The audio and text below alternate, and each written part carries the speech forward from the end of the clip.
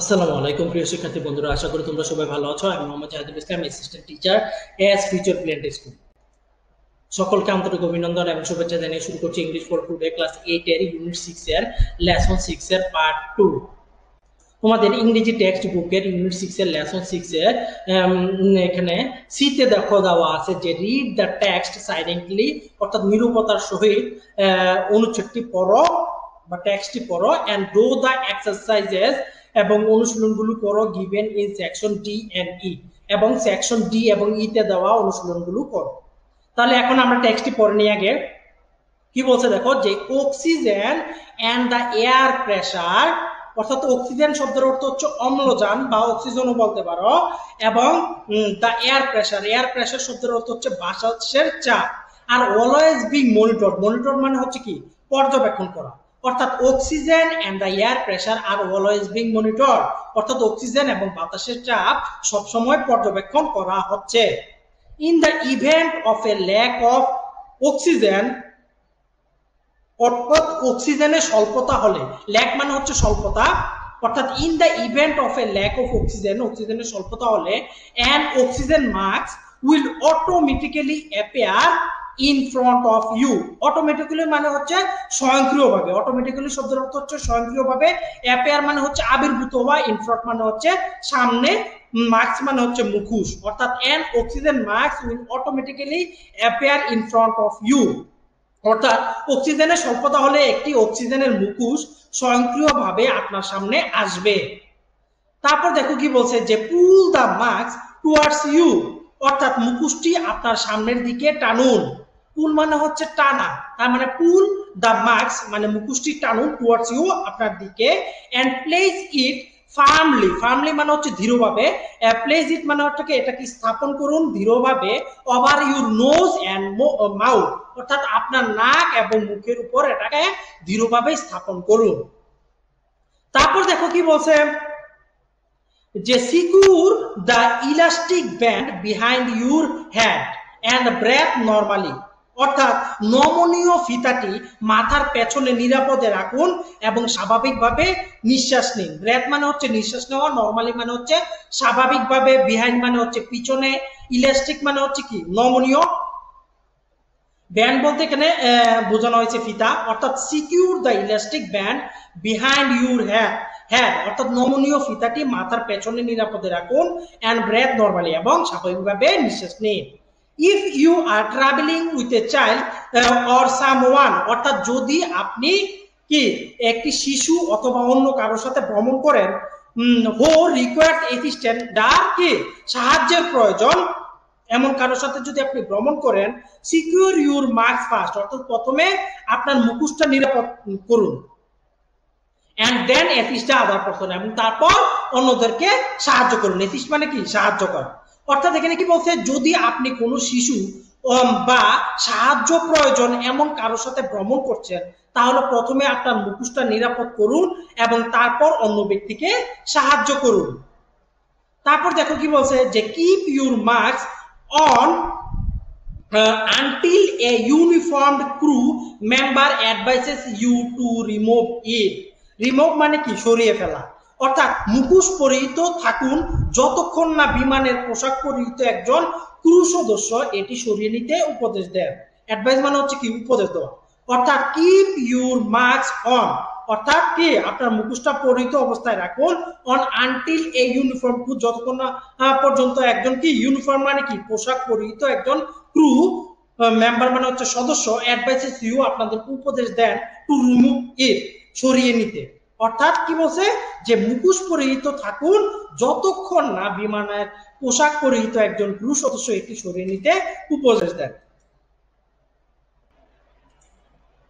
তারপর দেখো কি বলছে? যে in the event of an emergency emergency মানে হচ্ছে জরুরি অর্থাৎ in the event of an emergency এটা তারা বোঝাচ্ছে যে জরুরি সময়ে প্লিজ মানে অনুগ্রহ করে assume the bracing position bracing position বলতে এখানে বোঝানো হয়েছে বলদায়ক অবস্থান। পজিশন মানে হচ্ছে অবস্থান এবং ব্রেসিং মানে হচ্ছে বলদায়ক। অর্থাৎ অনুগ্রহ করে বলদায়ক অবস্থান ধারণ করুন। অর্থাৎ জরুরি সময়ে অনুগ্রহ করে বলদায়ক অবস্থান ধারণ করুন। That is lean forward with your hand on top you of your head অর্থাৎ এটা হলো মাথার উপরের অংশের সাথে হাত দুটো সামনে আনুন। অর্থাৎ কি বলছে? Lean forward with your head on top of your hands on top of your head অর্থাৎ মাথার উপরের অংশের সাথে হাত দুটো সামনে আনুন অ্যান্ড ইউর এলবোজ মানে কোনই এগেনস্ট ইউর থাইস এবং কি বলছে? যে উরুর বিপরীতে কোনই বাঁকান এবং ইউ কি বলছে? যে your elbows against your thighs thighs মানে হচ্ছে উরু। অর্থাৎ উরুর বিপরীতে কোনই বাঁকান তার মানে পুরো সেন্টেন্সটির অর্থ কি দাঁড়াচ্ছে? যে এটা হলো মাথার উপরের অংশের সাথে হাত দুটো সামনে আনুন এবং উরুর বিপরীতে কোনই বাঁকা। তারপর দেখো কি বলছে যে ensure your feet are flat on the floor floor মানে হচ্ছে মেজে ফ্ল্যাট মানে হচ্ছে সমতল এবং এনশিওর মানে হচ্ছে কি নিশ্চিত করা। অর্থাৎ কি বলছে? যে ensure your feet are flat on the floor অর্থাৎ মেঝেতে আপনার পা সমতলে আছে কিনা নিশ্চিত হন তারপর দেখো কি বলছে যে a life vest is located. অর্থাৎ কি? একটি জীবন রক্ষাকারী পোশাক। লাইফ ভেস্ট বলতে কেন বোঝানো হয়েছে? জীবন রক্ষাকারী পোশাক। অর্থাৎ একটি জীবন রক্ষাকারী পোশাক রয়েছে is located in a pouch under your seat or between the arm rest অর্থাৎ আসনের দুই হাতলের মাঝে অথবা আপনার আসনের ঠিক নিচে একটি ছোট থলেতে একটি জীবন রক্ষাকারী পোশাক রয়েছে। অর্থাৎ কি বলছে দেখো, আমরা আবার সেন্টেন্সটি করছি। A life vest is located অর্থাৎ একটি জীবন রক্ষাকারী পোশাক অবস্থান রয়েছে ইন এ পাউচ পাউচ বলতে কেন বোঝানো হয়েছে? একটি ছোট থলে, অর্থাৎ একটি ছোট থলেতে আন্ডার ইউর সিট আপনার আসনের নিচে অথবা বিটুইন দ্য আর্ম রেস্ট অর্থাৎ আসনের দুই হাতলের মাঝে। তারপর দেখো কি বলছে when instructed to do so অর্থাৎ যখন এটা করতে বলা হয় ওপেন দা প্লাস্টিক পাউচ অর্থাৎ কি?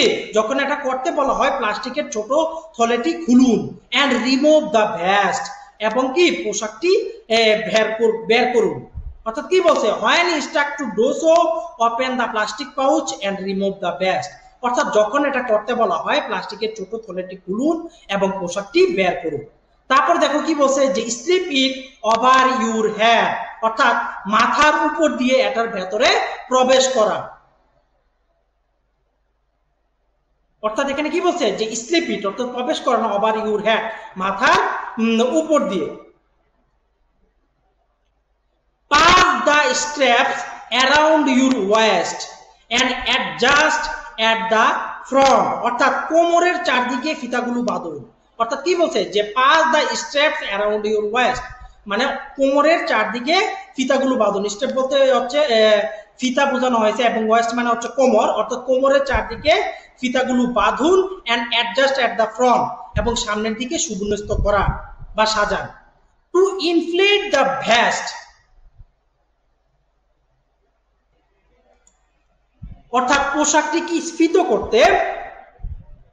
পুল ফার্মলি ধীরভাবে টানুন অন দ্য রেড কর্ড অর্থাৎ লাল রশিটিকে before you leave the aircraft অর্থাৎ যখন কি পুরো জাহাজ ত্যাগ করার পূর্বে।